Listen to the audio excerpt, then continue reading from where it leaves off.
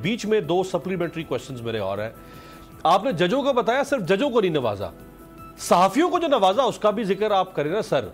अभी फहद हुसैन साहब को विफाकी वज़ीर का दर्जा दे के अपनी काबीना में शामिल कर लिया। अताउल्ला कासमी साहब को पीटीवी का सरबरा बना दिया। वो सुप्रीम कोर्ट ने साकिब निसार साहब के ज़माने में बड़ी शानदार जजमेंट दी। उनको निकाला गया वहाँ से। उससे पहले उनको सफ़ीर लगा दिया। इरफान सिद्दीकी साहब कॉलम नवीस उनको सेनेटर बनाया उन, उन, वो स्पीच राइटर है साफियों को नवाजा। फिर आप वकीलों को भी देख लें। अभी आज़म नज़ीर तारण साहब सारे केसेस इनके करते चले आ रहे हैं उनको सेनेटर बना दिया फिर उनको आज विफाकी वज़ीर बना दिया। सो हर जगह पे नवाजते आ रहे हैं ये तो। एक तो इसमें जो ये तरीका वारदात जो है इस पे तीन जो माशरे के अनासर हैं। हम्म। उनके आगे तो ये बिछड़े होते वो तीन है फौज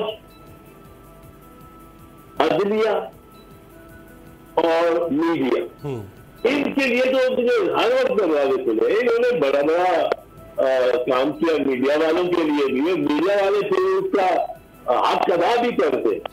सही बात। है हाथ कदा भी करते। सही बात है। और आ, लेकिन अब इसमें और ये देखे ना कि ये तो हुई बात पुरानी और आज़म तारीफ़ का आज़म नदीर तारर जी।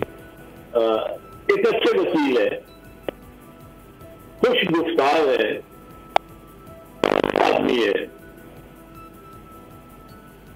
पर उनका जो ग्रुप है जिसको हेड ऐसे दूर सब कर रहे हैं। जी।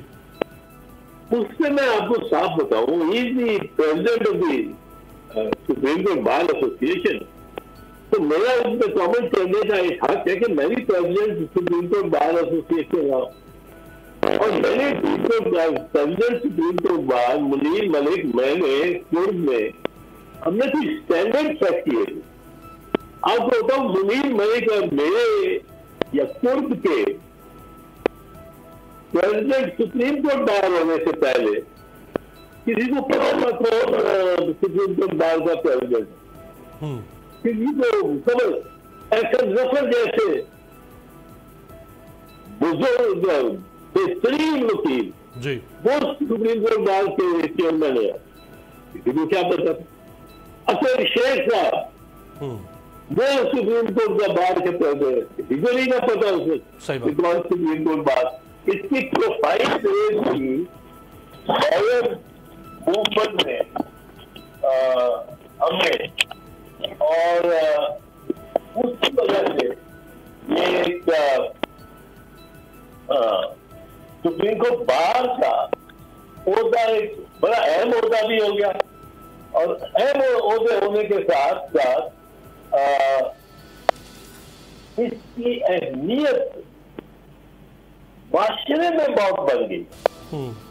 अब सुप्रीम कोर्ट बार का प्रेसिडेंट एक ट्रेंड सेटर है हम्म। अब ट्रेंड सेट क्या कर रहे हैं आप सुप्रीम कोर्ट में तो एक दरार पड़ी हुई है सब्सक्राइब हम्म। करें और बेल दबाएँ ताकि कोई खबर रह न जाए